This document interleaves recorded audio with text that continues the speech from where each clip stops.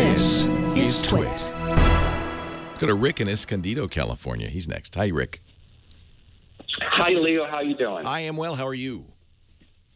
Better now that you're on the phone.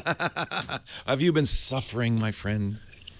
I have been suffering, and I am getting ping pong back and forth from Verizon to Apple to Verizon to Apple, and no one seems to have the answer to this question. All the right. question is yes, recently I have updated from a 4S to a 6. All right. And on the and on the 4S, I never. I think I stopped upgrading the operating system at six because people were saying it just really got slow when you Right. went past that point. Right. So I got the six, and I promise you, I configured it exactly the way I had my 4S set up. I don't even have iCloud. I don't even have iMessaging turned back on. But it seems that when I turn on the LTE, my data usage goes through the roof. Oh, interesting. Now, yeah, now I understand if you download a 2 meg file on e- either 3G or 4G, a 2 meg file is a 2 meg file. Right. But some people, I've Googled this, some people are suggesting, well, there was a bug in the software, and when you would come home thinking you're on your Wi Fi, you're really not. Well, that would be an issue. That would be an issue if it didn't. Uh, and I've seen that happen with all phones, but I've seen it certainly happen with an iPhone, where for whatever reason, maybe your Wi-Fi isn't strong enough, it doesn't switch over to Wi-Fi, and continues to use LTE. And the only way to know that, of course, is to look at the top of the phone and see what you're doing. Right. There are other things, though, that you should be aware of. And one of the things Apple gives you is a little tool to see what's using all that data. It's in the, uh, I think they do, that's in the usage. Um, for instance, Facebook changed things dramatically to auto load and play movies. And that is an instant, massive increase in data usage. Data usage is really at the, in the hands of the apps. So it's conceivable that you've got some apps on there that are just going crazy. Yeah, I looked in those, and I'm not seeing you know any huge offenders. Yeah. Um, I'm just wondering if there's a bug. I mean, I know Apple is one of those companies that if there's a bug, they really don't admit it until they have the fix, and then magically things start working better. Right. Um, but one person also told me that, like YouTube, if you come at YouTube, if it sees you coming at them, Well, it will increase the quality. It will increase the quality automatically. Absolutely. Okay. So, I mean, and Netflix does that too. As it, people notice this when they get to these new high-speed connections, they use more data. Well, yeah, because these uh, programs say, "Oh, I can show now high def. I'm going to start sucking more data."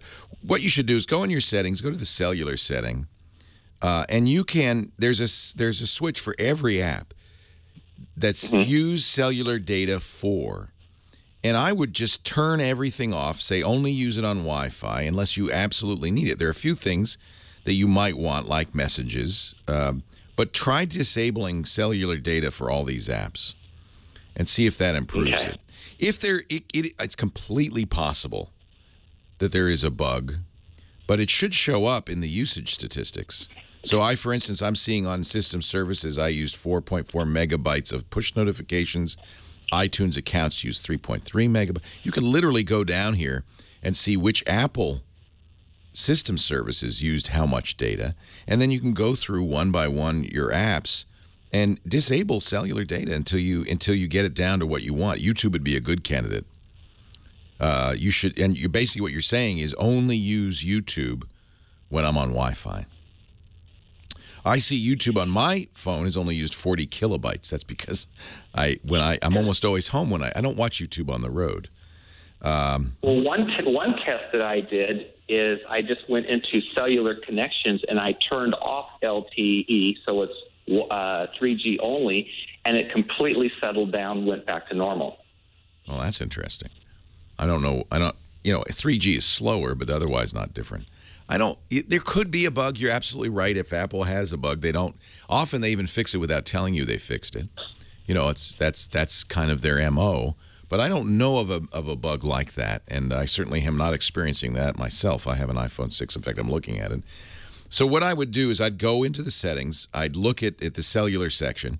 You can see how much each app has used. The App Store, for instance, for me, has used 139 megabytes of cellular data. That means obviously I updated some apps while I was wandering around instead of when I was at home. You'll see if there are any really, you know, big culprits. Anybody who's using more than a few hundred megabytes. If you see thousands of megabytes, that's one of them.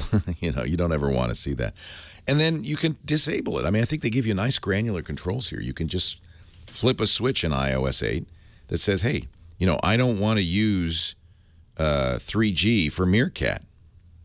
That's, I don't, you know, it should own, by the way, 3G, 4G, it calls it cellular data. So it doesn't, it doesn't make the distinction that you're making. Data is data from its point of view. So I don't know of a big problem, but there are good controls in iOS to let you turn that off. And so what I'd suggest is uh, doing a little diagnostics on your part. Uh, I wish, uh, you know, I wish you could look at your cell phone bill, but you can't see that. You can't.